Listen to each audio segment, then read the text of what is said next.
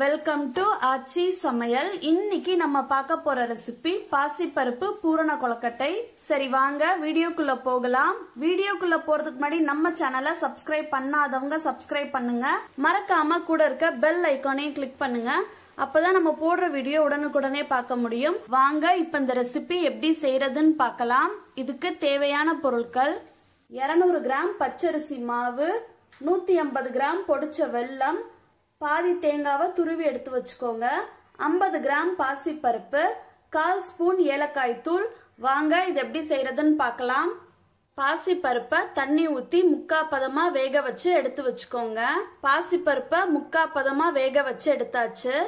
Stove on பண்ணி pan வச்சுக்கலாம். இதுல ரெண்டு ஸ்பூன் நெய் சேர்த்துறலாம் இதுல நம்ம வேக வச்சிருக்க பாசிப்பருப்பு சேர்த்துறலாம் கலந்து விட்டுறலாம்.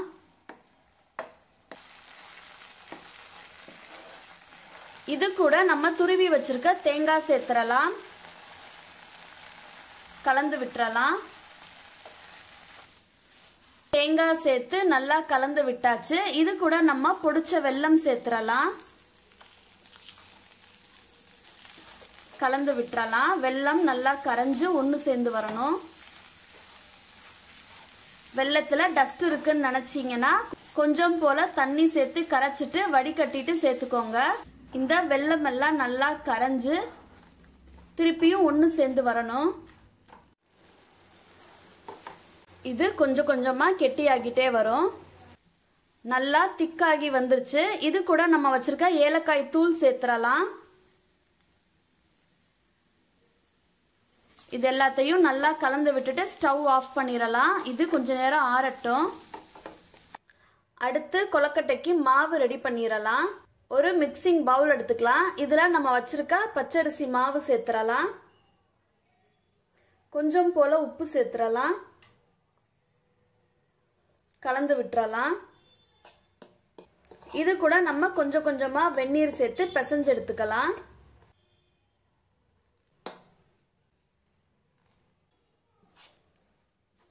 நம்மளோட கொலக்கட்டை மாவு ரெடி ஆயிடுச்சு. இப்போ இதில் கொஞ்சம் போல எடுத்து கையில் தட்டிக்கலாம்.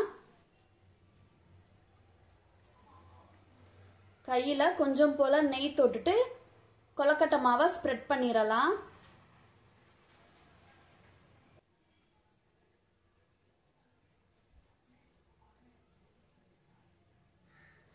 இதில் இப்போ நம்ம பூரணத்தை கொஞ்சம் போல் உள்ள ஸ்டஃப் பண்ணிடலாம்.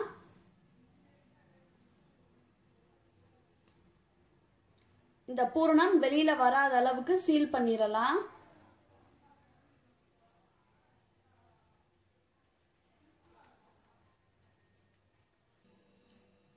இந்த மாதிரி நம்ம வச்சிருக்க எல்லா மாவையும் கொலக்கட்டையா செஞ்சு எடுத்து வச்சுக்கலாம். கொலக்கட்டை உருட்டி ரெடியா இருக்கு. இதை இட்லி பாட்ல வேக வச்சு எடுத்துக்கலாம்.